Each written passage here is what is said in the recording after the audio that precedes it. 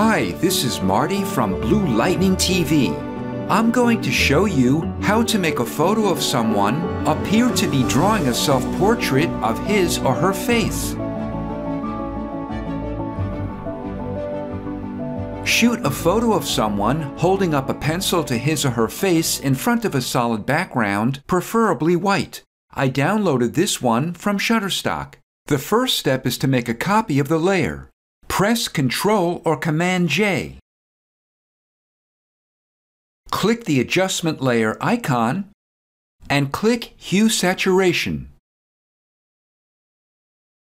Drag the saturation slider all the way to the left. Make the copy active and change its blend mode to color dodge. Invert the layer by pressing Ctrl or Command I. At this point, your image should look white or mostly white. We'll convert our inverted subject layer into a smart object so we can add filters to it non-destructively. Click the icon at the upper right corner to open the flyout list and click Convert to Smart Object.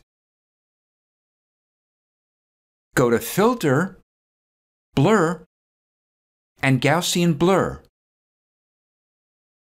I'll blur at 25 pixels, however, you can adjust this amount if you like. Just keep in mind that if you blur it too much, it'll start looking more like a photo than a pencil drawing. Remember, since we converted this layer into a smart object, we can always adjust the blur later if we want to. To accept it, click OK or press Enter or Return. Next, we'll darken its midtone ranges. Click the adjustment layer icon again, and this time click Levels.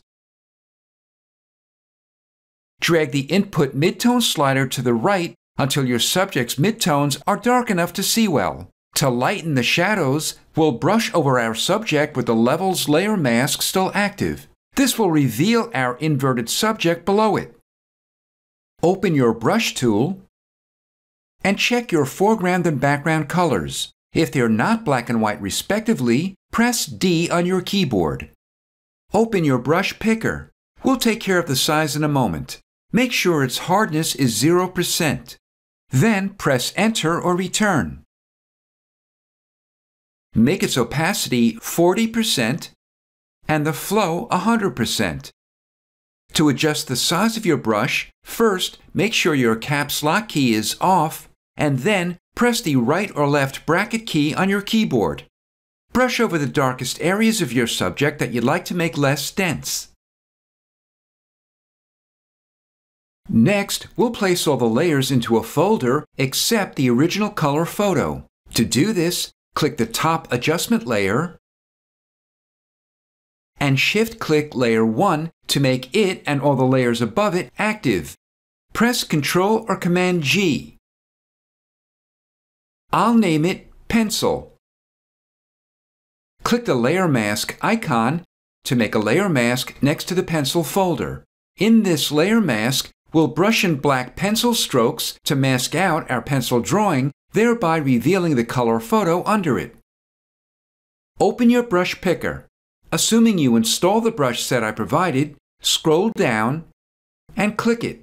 If you don't see it, click the gear icon and click it. If you don't see it in this list, click Import Brushes and find the pencil brush set. Open it and click one of the pencil stroke brushes. I'll make its size 175 pixels, but feel free to use whatever size you like. Press Enter or Return, and press the F5 key at the top of your keyboard to open your Brush Settings panel, or you can go to Window and Brush Settings. Click Brush Tip Shape and make the spacing 75% click Shape Dynamics and make the angle jitter 25%. Click Scattering and make the scatter 50%. We can close the panel now. Brush mostly over one side of the face. I prefer the side that has the hand and the pencil, but the effect works well on the other side as well.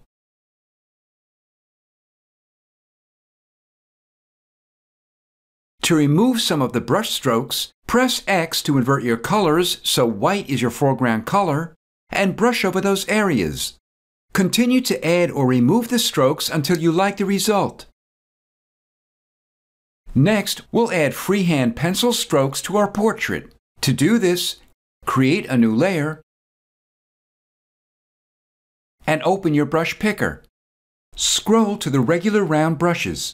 Make the size 2 pixels and the hardness 100%. Make the opacity 60% and the flow 100%. Draw over the outer edges and gently over the edges that define the parts of the face. If you want to erase some of the lines, no problem. Open your eraser tool, make sure the hardness is 100%, and erase over the lines you don't want. The last step is to add a subtle paper texture. Create a new layer and fill it with white by pressing Ctrl or Command plus Delete. Change its blend mode to darken. Name it Paper Texture and go to Filter and Filter Gallery. Open the Texture folder and click Texturizer. Choose Sandstone for the texture. The scaling is 100%, the relief is 6, and the light is top left.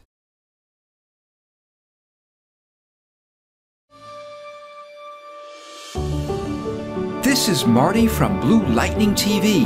Thanks for watching.